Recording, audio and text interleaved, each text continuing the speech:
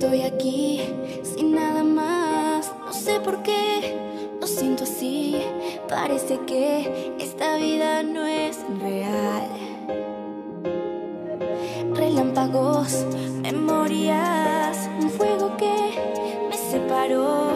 Quieren que yo pueda encontrar mi verdad.